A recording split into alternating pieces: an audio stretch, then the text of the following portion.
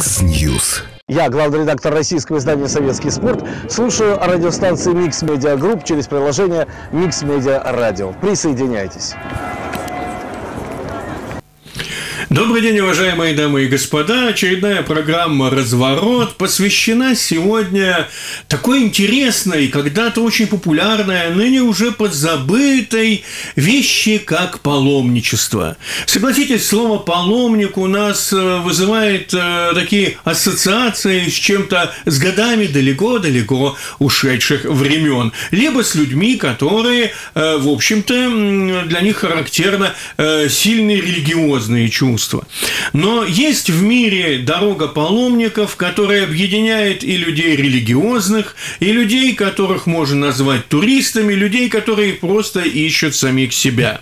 И вот сегодня мы поговорим о э, вот этой удивительной дороге, которая э, по-испански звучит, название звучит как «Эль Камино де Сантьяго» или по-русски «Дорога святого Якова». Это путь паломничества по северной части Испании к городу Сантьяго де Компостелло, где находится, где хранятся мощи одного из важнейших в христианстве апостолов святого Якова. И наш сегодняшний гость – это психолог, юнгианский аналитик Ирина Есайбегян, которая сама лично, вот буквально месяц назад, прошла этот путь святого Иакова по старинной дороге пилигримов.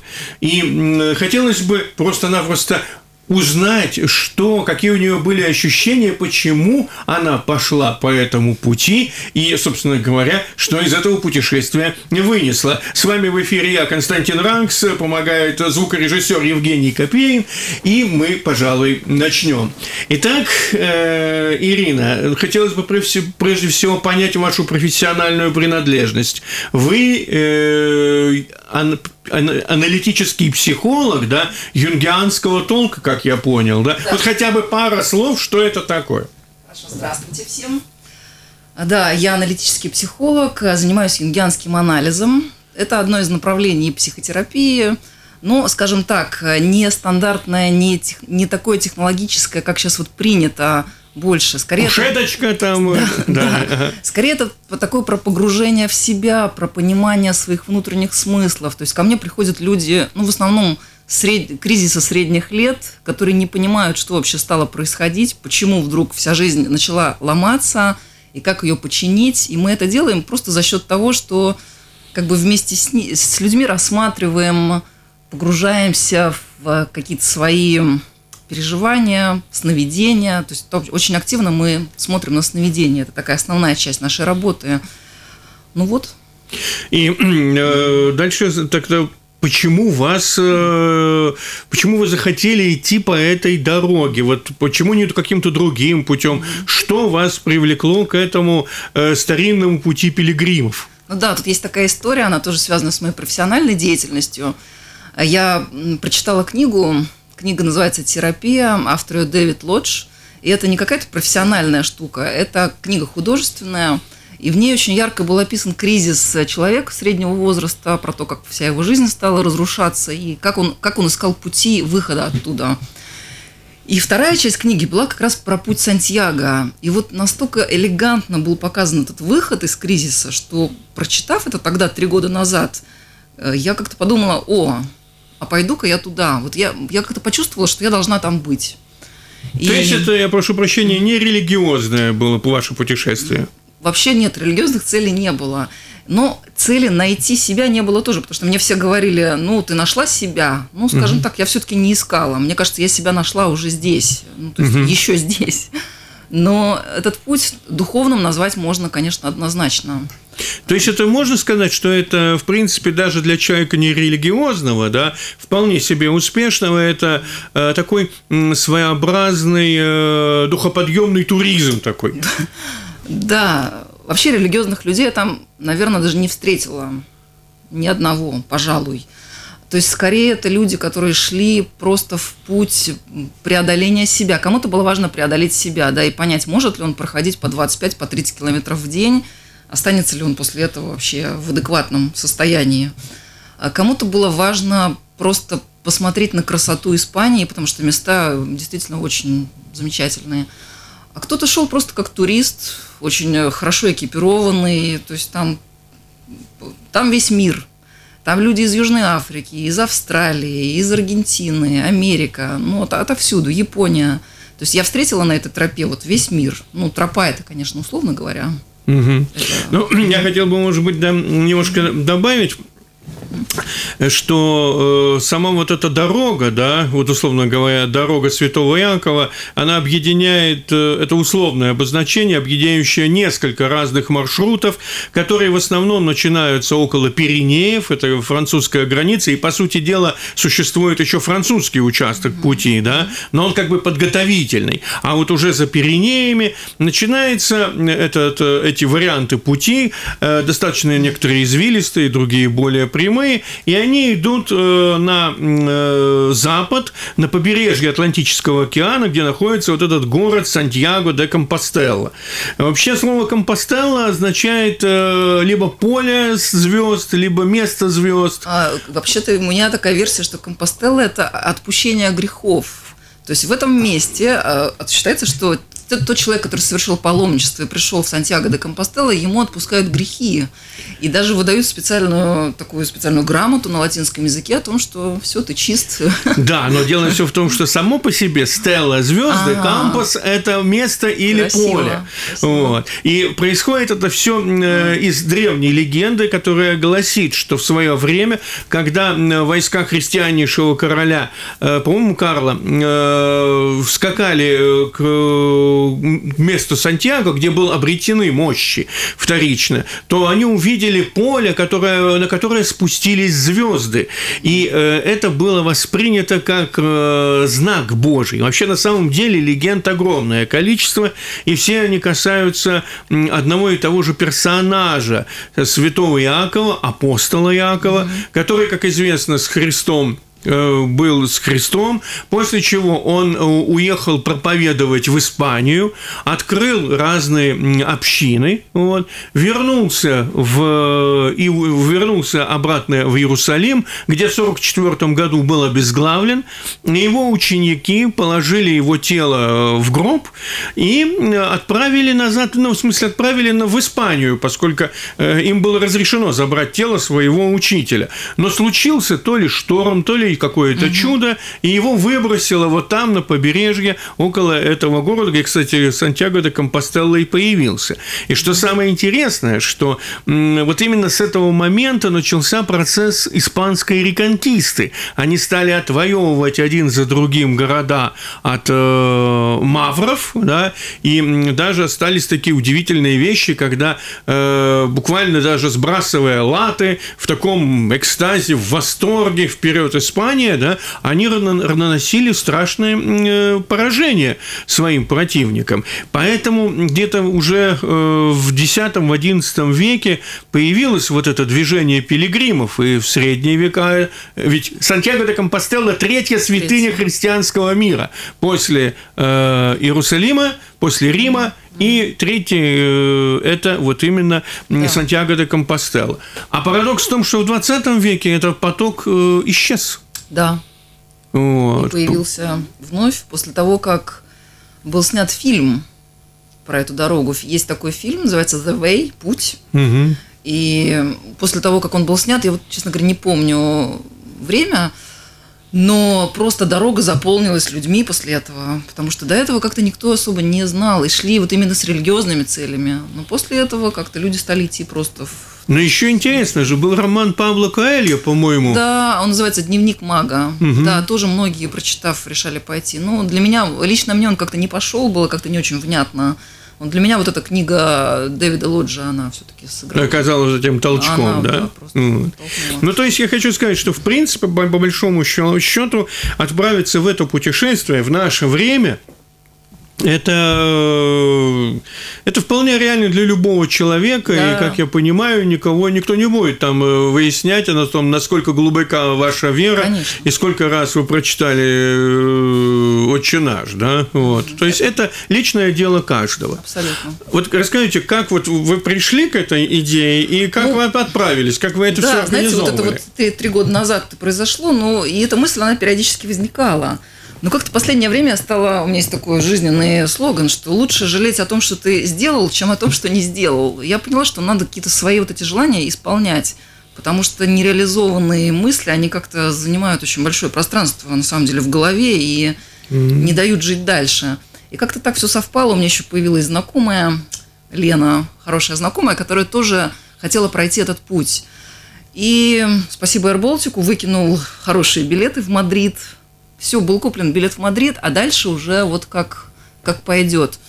То есть, э, на самом деле, сам этот путь, он вообще-то 800 километров его от города французского Сен-Жан до Сантьяго де Компостела. Но это занимает 35-40 дней, и, в общем-то, не всегда это возможно выделить такое время. Mm-hmm. В моем случае это было невозможно. Я выбрала такой вариант. Это 14 дней пути. Это начало из города Леон, Леон испанский. Mm-hmm от Леона до Сантьяго 300 километров. Угу. То есть можно было, приехав в Мадрид, сесть на поезд либо на автобус, доехать до Леона и вперед. И просто идти. И дальше пешком? И дальше пешком, да. А, по дороге, ну, меня все спрашивают, а как ты там, где ты там жила, что это? Это, это в поле бросила там палатку и поставила и спишь. Там на самом деле очень развита инфраструктура, то есть, то есть там все заточено под паломников все эти городки, которые находятся по пути, они вот именно прям настроены на то, чтобы ну, настроены на паломников, на пилигримов.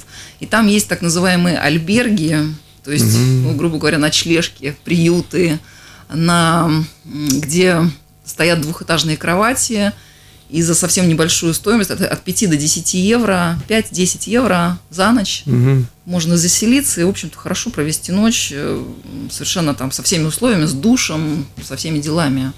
Ну, можно и жить в отелях, никто не запрещает. Ну, вообще-то эта система, вся инфраструктура, она действительно появилась еще в, в развитом средневековье, только менялись при средства. монастырях, да, да при, при монастырях, монастырях люди да. ночевали, да. Сейчас такое достаточно все современное, солидное. Да, можно останавливаться и при монастырях, там тоже есть такие места. Можно в частных альбергах, приютах, угу. можно в отелях, в общем-то, в зависимости от ваших финансовых То есть никакой резервации через интернет, там, знаете, э, не было. Тут есть такой момент, да, я, конечно, перелопатила весь интернет, кучу отчетов прочитала, и мнения разделились. Кто-то говорил так, иди, и путь сам тебе даст все, что надо. А кто-то говорил так, что ты можешь прийти в какой-то город и не успеть, за, и, и тебе негде будет ночевать, поэтому лучше забронировать. И когда я поехала туда, я, в общем-то, такой компромисс нашла. Я две трети забронировала, одну треть оставила так, на волю пути. Угу. Но, знаете, уже после первой ночи я все брони отменила и просто пошла. Потому что я поняла, что иногда мне хочется идти больше, чем я запланировала иногда меньше, а иногда мне хочется просто испытать вот такую, что ли, удачу свою, а, а будет ли мне место? И, знаете, всегда как-то находилась. Вышла, э, вышли одна, да? Я шла одна, да. Это тот, тот вопрос, который волновал многих, и они говорили, как ты идешь одна, э, это опасно, это страшно, это скучно, там с кем ты говоришь. Ну, знаете, я как-то в конце пути поняла, что я шла, скорее слово «одна» не подходит. Я вот так вот назвала это «соло». То есть я как-то я шла соло, я была не одна. Да, да, там были люди кругом. Как бы основную часть времени я проводила одна, но я и очень много общалась с людьми.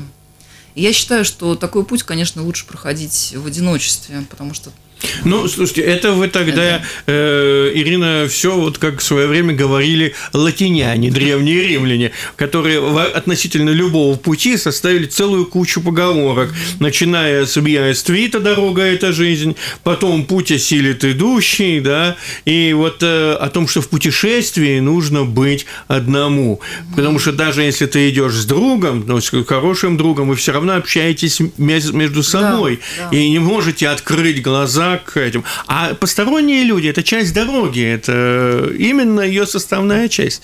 Кстати, вопрос. А кого там было больше? Я имею в виду по национальному составу. Каким языком вы пользовались? Ну, я очень много говорила по-английски. Угу. Это основной язык.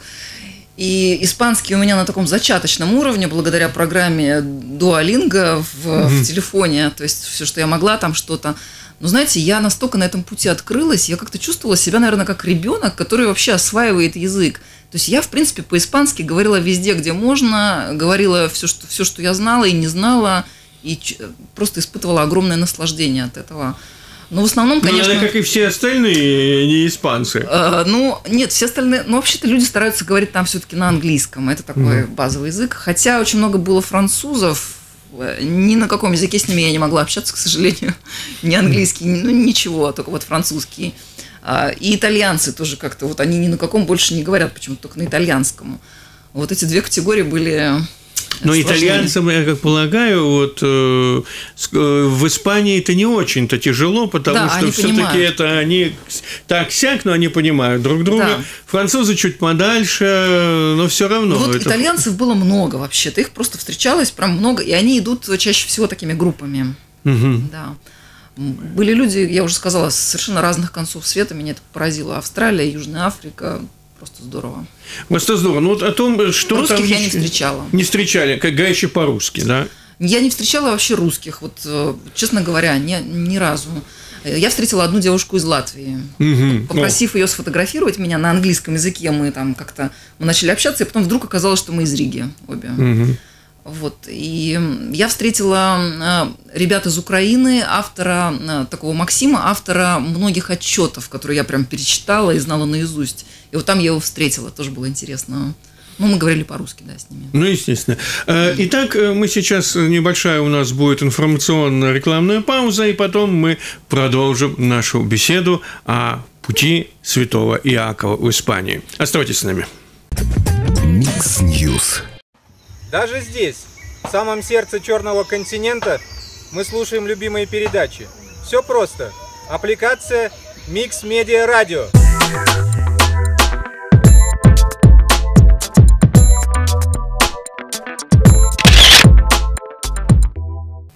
Итак, мы продолжаем нашу программу «Разворот», которая посвящена уникальному маршруту, который можно назвать и туристическим маршрутом, и маршрутом познания самого себя, и для религиозных людей маршрутом пилигримов, маршрутом паломничества, а именно о пути святого э, Якова или э, «Эль Камино де Сантьяго», как звучит по-испански, по старинной дороге переглим, перегли, пере, пилигримов, которая идет э, от Пиренейских гор в испанский город Сантьяго де Компостела. И сегодня с нами э, психолог Ирина Есебегян, которая буквально вот месяц назад прошла этим путем. И мы сегодня, как вот сейчас, вот сидим и беседуем о том, э, что это за путь, как идти и какие ощущения он дает. Само это пешее, я напомню, путешествие. И вот у Ирины оно было длиной 300 километров. Но я попросил бы вас, Ирина, взять наушники, потому что у нас есть э, радиослушатель, который, несомненно, хочет задать вам вопрос. Алло. Добрый день, Павел. Да, здравствуйте, ну, у меня Павел. вопрос, Константин. У меня дочь с подругой, они два года назад прошли этим же маршрутом. У них была масса впечатлений. Но начинали они из Франции, из Сипа, шли до Помпона – а так как время было ограничено, они потом на поезде подкатились до Асторги и оттуда уже до Сантьяго опять шли. Ну, через Францию они хотели пройти, потому что говорили, что там очень красивый перевал. Угу которые они обязательно хотели увидеть. Ну и о всем путешествии у них была масса впечатлений. У них был очень бюджетный вариант, поэтому они уже за три месяца до этого готовились, подбирали вещи, чтобы ми- минимальный вес был. В итоге у них кроме смены белья, было еще по одному платьишку, которое они в итоге по окончанию надели, но они были очень счастливы, что они все это сделали. Кучу народу там они знакомились, но они говорят на английском и, и так далее, у них не было с этим никаких проблем. Ночевали они там в старых монастырях и всяких этих, ну, тоже там бюджетные места, там за 2-3 евро, как они говорили, можно переночевать. Ну что ж, можно только порадоваться за вашу дочь и ее подругу. Новых путешествий. Всего вам доброго, Павел, спасибо. Ну вот. Э... Да, я согласна с тем, что сказал слушатель. Действительно, это потрясающее переживание. И вот по поводу экипировки тоже, да, там это тот момент, который волнует многих. Да, вот давайте об экипировке, что, да. Потому что ты, вот я, я иду пешком, и, в общем-то, у меня рюкзачок небольшой, и все должно быть там. И, конечно, любое, любые лишние 100 грамм веса, они очень сильно сказываются в дороге. Поэтому и все мои вещи прошли просто тотальный контроль. То есть я взвешивала буквально каждую майку. Там это, это было всего две майки, там штаны. Ну, то есть очень Все по, всего по минимуму. Нужно было вот уже перед поездкой понимать, что да, ты все понесешь на себе. И очень важно, если кто-то пойдет из а, слушателей, очень важно подбирать хороший рюкзак и хорошую обувь. Вот две эти вещи – это просто то, что должно быть.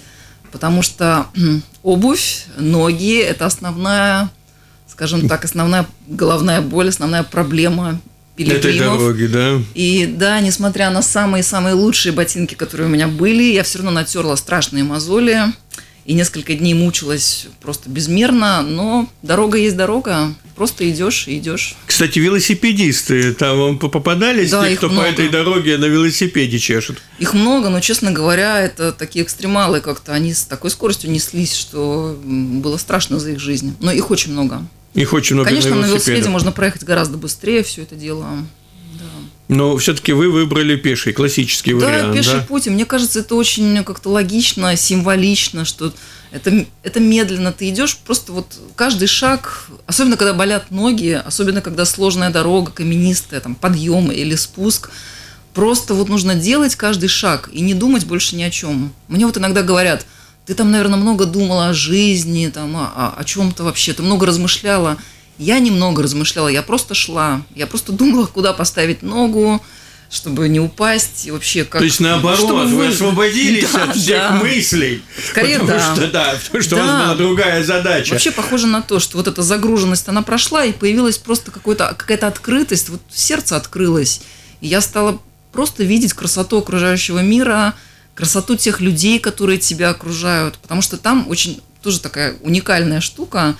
Э, Ты всем, ты всем говоришь, желаешь доброго пути. По-испански это «buen camino», доброго пути. Вот любой человек, который проходит, ты говоришь ему «buen camino». И любой человек, который проходит и встречает тебя, он тоже это говорит. И в какой-то момент, знаете, ну, 10 дней вот я шла, я шла, говорила всем «buen camino». И в какой-то момент я вдруг поняла, что я же тысячи людей, я сказала им, я их благословила, и они благословили меня. И вот, этот- вот эта связь, которая образовалась, она ее не передать словами. Это, вот этого в этом в нашем мире, к сожалению, не так много. Я как-то сейчас стараюсь это принести тоже сюда. То есть, по сути дела, фраза «доброго пути» это не просто форма речи, а Да. реальное пожелание. Да, я как-то стала понимать, что мы все, неважно, где мы идем, в дороге Сантьяго или по жизни, мы все в пути. И можно же желать друг другу этого и так. Там же действительно очень много интересных мест. Вот, например, там на вершине горы, а ближе к Сантьяго, по-моему, уже, э, там здоровущая многовековая куча камней. Ка- вы несли с собой свой камень? Да, конечно, есть такая идея, что нужно взять из э, своего места, где ты живешь, камень, который символизирует э, твои грехи, и донести. Чем больше грехов, тем больше Ну, я не камень. знаю, честно говоря, взяла маленький, потому что я Вес говорила, тяжелый. вес тяжелый, да, как-то волновалась за то, как я пойду. Я взяла небольшой камень, ну, конечно, символически поразмышляла о том, что это может быть.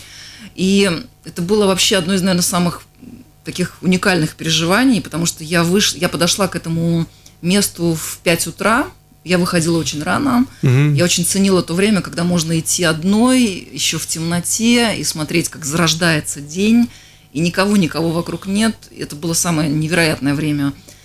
И когда я подошла к этому, там такой стоит большой крест на горе, и вот эта куча камней, ну, это было что-то невероятное. Вот там, наверное, я испытала что-то сродни религиозному переживанию, но оно как-то было не про религию в целом, но вот про мою связь, мое место в этом мире. Я что-то поняла. Ну да, потому что каждый камень, куча здоровущая, да, это же че- человеческая жизнь. Да, вот эта Человеческие- связь наша. Да, и человеческие грехи, и тоже, особенно самое главное, что как люди воспринимают это, что, они это взяли с собой. Да, Вот. серьезно. Да, если австралийцы идут, то они из Австралии везли Конечно, да? Интернациональное такое сборище. Вот, а, а как вы, такой практический совершенно вопрос, как вы решали вопрос питания там? Там очень просто решается вопрос питания. Э, Там есть так называемый ужин, меню пилигрима. Меню пилигрима, оно стоит от 9 до там, 9, 10, 11 евро максимум. Тебе приносят просто три огромных блюда. Закуску огромную, второе и бутылку вина на человека. Вот это меня поразило больше всего. Бутылка вина на человека, и даже моя приятельница случайно, взмахнув рукой, разбила эту бутылку, ей сразу же принесли новую, там, смеясь и говоря, что никаких проблем. Вот. И, ну, это что касается ужинов, поэтому не проп... с голоду не пропадешь. Завтраки, да, это все везде есть. Было так, что первые дни мне вообще есть не хотелось. Я так на таком энтузиазме, и так вот все хорошо. Но потом, когда вот по 25-30 километров в день проходишь, как-то начинаешь понимать, что да, пожалуй, завтраки нужны тоже. И обычно, проходя с утра, я шла 2 часа утром, и потом останавливалась где-то поесть. Там без проблем везде городки, везде кафе. То есть очень развитое место, нет какого-то... Это не пустыня. Ну нет, это понятно, уже тысячу лет там люди ходят, да? Вот. Это, кстати, тоже ощущение того, что века идут, а люди идут тоже ну, цепочкой, да? Вот это интересно. А вы похудели, прошу прощения за деликатный ну, вопрос? Было дело, да. Конечно. Да, то есть это... Ну, потому что нагрузка не маленькая. То есть я шла 27-33 километра в день. Это где-то... Я начинала... Я выходила в 5 полшестого утра и приходила где-то к часу, к двум. А, было очень жарко. Один раз я пришла, я вышла в полшестого утра и пришла в полшестого вечера. Я прошла 38 километров. То есть такой был Ну, это практически как из центра Риги дойти до Лелупы, до Юрмалы и вернуться обратно. Вот не ходила, не знаю. Ну, нет, я вас говорю, 20 километров Но, потратить. знаете, когда там вот идешь, ты выходишь утром и знаешь, что нужно пройти 30, а потом видишь знак, что осталось 12, ну, это уже ерунда. Поэтому, mm-hmm. когда я прилетела в в аэропорт и видела, увидела такой знак, что до Риги 12 километров, я подумала, о, так я тут да, пешком да, дойду, да? да. Поэтому очень непривычно теперь ездить на машине, конечно.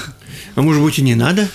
А, ну, наверное, все-таки надо, потому что, конечно, когда ты в пути, ты, ты полностью погружен туда, ты только идешь и больше ничего. В этом тоже есть прелесть, что не надо ни о чем думать все решено. С мобильной связью, как вы решали ну, вопрос? У нас, у нас же отменили роуминг, так что все прекрасно. А он вам был нужен?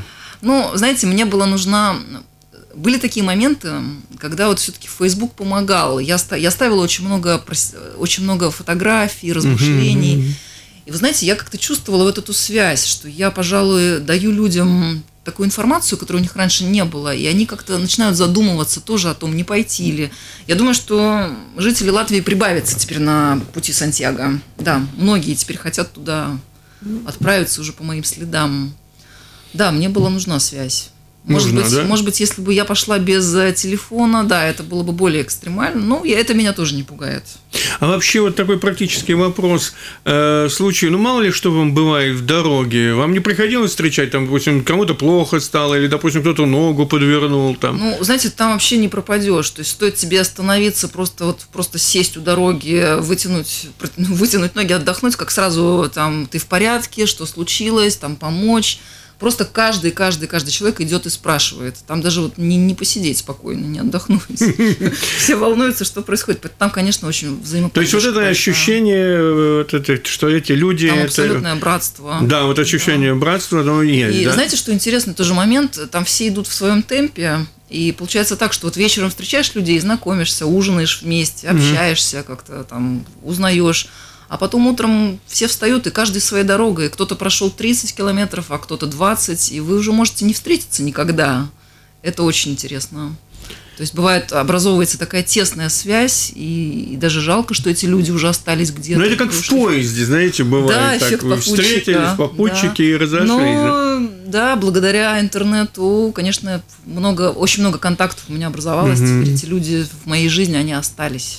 И вот вы шли по долам, там горы, там все, горы, лепота, поля. красоты, поля. И вот вы пришли в э, Сантьяго де Компостела, в этот собор, угу.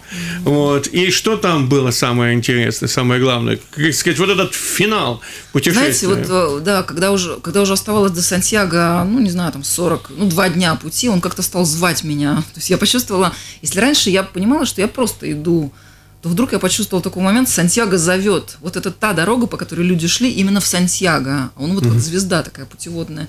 И я вот именно, мне очень хотелось этот собор увидеть. И последние километры были такие я иду, и, и хочется, и не хочется, и как-то не хочется, чтобы этот путь завершался, хочется идти дальше. И страшно, как этот собор вообще проявится. И я пришла на эту огромную площадь, вот так вот легла на эти камни, они теплые, нагретые, и как-то, и такая пустота, как-то непонятно, и что дальше? И вот этот, этот был момент пустоты такой странный. Но потом я пошла на службу в сам собор, и вот там какое-то завершение произошло. Там есть, ну, у меня на Фейсбуке есть видео, где раскачивают огромное кадило прям под потолок. И это что-то невероятное. То есть вот это ощущение, такое единство, весь собор забит людьми. Просто вот это было здорово. Но настоящее окончание пути, оно, конечно, на океане. То есть стоит еще добраться до океана, и вот когда я дошла до туда, я поняла, это финал. Там все да, то есть это, это Атлантический океан, да, эти, да, бьющиеся. Да. То есть там есть такое место, где считается, что ковчег с ковчег Девы Марии вот, вот туда вот при, причалил. И вот там невероятное что-то. Да, океан, вот эта природа. И все там, туда идут, да? Ну, а либо идут, либо едут, как получится. Ну, в общем, для меня это было окончанием пути. Хотя я, конечно, теперь думаю, что я пойду туда снова и снова. И люди, которые прошли один раз, они продолжают, они не останавливаются, ну, и идут. И есть много разных путей в Сантьяго. Да, в том-то и дело. Вот, Ирина, я когда работал в Испании, то я э, слышал разные рассказы, и поначалу никак не мог понять, а, собственно говоря, о чем говорят люди. А потом узнал э, довольно быстро, что существует э, как минимум 10 или 15 Там маршрутов. Много, да. Да. Есть этот э, маршрут, примите его древний совершенно по побережью, да. вот, непосредственно. А есть, который называется французский французский, он более южнее. Да, есть португальский путь вдоль океана. Да, да. То есть, есть их... Камина Норте тоже вдоль океана, но с другой стороны, с Бильбао. Да. Есть английский путь. И, в общем-то, вся Европа, она пронизана, на самом деле, вот этими вот камино путями. То есть, есть... Я там встретила, например, французскую пару. Они вышли из своего домика в Альпах, за, это за тысячу километров, и, и пошли в Сантьяго просто пешком. У них, они пенсионеры, у них много времени. Кстати, очень много пенсионеров, очень много. Ну, может быть, это ну, действительно возможность двигаться и как-то ощущать себя в течение времени. Меня, например, поражало то, что я мог сидеть, допустим, в таком городке э, э, в провинции Мурсия э, на скамейках, которые были установлены в какой-то год там правления императора Тита. Да. Понимаете, вот вы сидите на сиденьях, на котором сидели люди миллионы раз.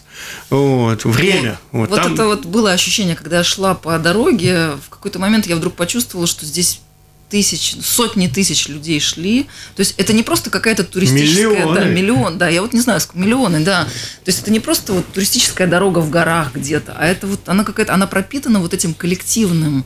Вот мне, как юнгианскому аналитику, это очень важно было, да, почувствовать эту связь такую с некой нашей общей коллективной бессознательной составляющей. То есть я прям почувствовал, что для работы очень много я оттуда почерпнул. Вы знаете, я, а я слышал э, от человека совершенно нерелигиозного, mm-hmm. даже можно назвать атеиста, который сказал, что на этой дороге он почувствовал, что такое ноосфера Вернадского. О, то, то есть это тут да. глобальная сеть разума. То есть он говорит, ты э, в процессе, ты один из вот этих вот кирпичиков мироздания, mm-hmm. вот этого разума, mm-hmm. да, но таких было полно до тебя и будут после тебя.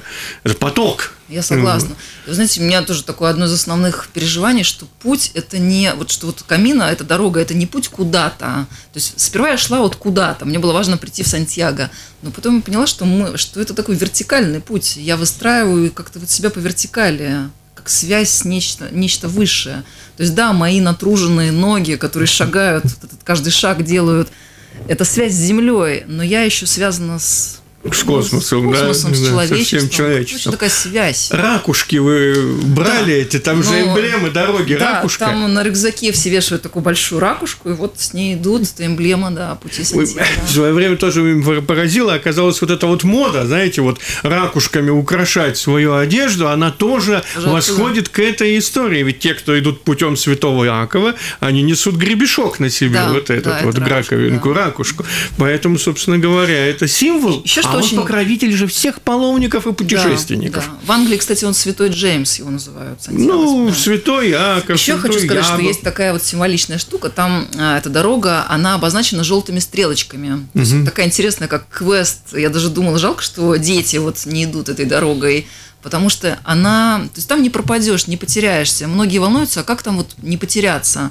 Но там ты идешь, и, и везде стрелочки либо нарисованы на здании, либо на земле, желтой, желтой масляной краской, да, такая желтая стрелочка.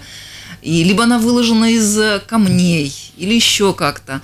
Если это перекресток, обязательно вот там присмотришься и найдешь это. Вот некоторые люди теряются как-то. Ну, то есть вот тут именно дело в осознанности. Нужно все-таки идти и быть осознанным, смотреть, что происходит вокруг тебя, Для меня это было вообще шикарно, потому что я чувствовала, что меня ведут. Там невозможно быть одной. Тебя ведут вот эти стрелочки, тебе все время указывают путь. Это было тоже очень символично, что на самом деле по жизни это нас тоже ведут. Только надо присмотреться к этому. Не, ну действительно нас ведут. Э, Так, вот как раз у нас э, в нашем чате Mixuse LV Radio Baltcom Live вопрос э, к вам. Как можно в Фейсбуке найти ваши путешествия, описание вашего путешествия? А, Просто меня нужно найти, но я даже не знаю, как это мне сложная фамилия. Ирина Есайбегян. Ну вот. Есабейгян. Есайбегян, да. Я думаю, что как раз тут помогает то, что она фа- фамилия достаточно сложная, Да. потому что при поиске Да, можно набрать так- первые буквы Yes. Да, Еса. Первые Еса, буквы да. Еса, Да. а дальше А дальше- Бейгян. Ну, да, ты- вот. да. Ирина. И там это как раз вот ваше Да, я много писала свои впечатления, потому что я правда чувствовала, что мне нужно поделиться обязательно этим. Это, это очень важно. Это такой некий путь, который многие люди потом мне говорили, что они прошли прям буквально вот рядом со мной. Да. То есть вы можете порекомендовать человеку отправиться в эту дорогу. Я однозначно рекомендую, да. Это, во-первых, это, это бюджетно, да, то есть если вы готовы к каким-то трудностям, если вы не... Если не нужно там 5 звезд all inclusive, да, и можно как-то одеть кроссовки, сандалии и пойти в этот путь, да, тогда это для вас. Я, я встречала массу разных людей, и пожилых, и молодых, и хромающих, и, и больных, ну, всякое бывало, да. То Я есть действительно слышал Кто-то идет такую- для оздоровления, даже вот, вот, да, для преодоления. Для оздоровления я прекрасно понимаю, что, в принципе, это достаточно тяжелый труд, но самое главное, что там можно дозировать нагрузку. Да, не обязательно идти по 25 километров в день, можно идти да, да хоть 5. То есть, неважно, если есть время, иди сколько хочешь. Формально полная длина трассы 800, 800 километров, километров, да? Да, даже у меня есть э, знакомый, который прошел 800, э, мы с ним хорошие друзья, и он получил вот э, сертификат, где написано, сколько километров э, пройдено. Ему написали 799. Он говорит, почему? Вроде 800 из Сен-Жана до Сантьяго. Мы сказали так, а последний километр вы будете идти всю оставшуюся жизнь. Ну, дай бог, чтобы у нас этих километров было еще много. Сегодня мы говорили об удивительном пути, о дороге пилигримов Сантьяго, э, который идет от Пиренеев до города Сантьяго де Компостелло. И с нами был психолог Ирина Есабейгян, которая буквально месяц тому назад прошла этим путем. Хорошей вам дороги всем, уважаемые радиослушатели.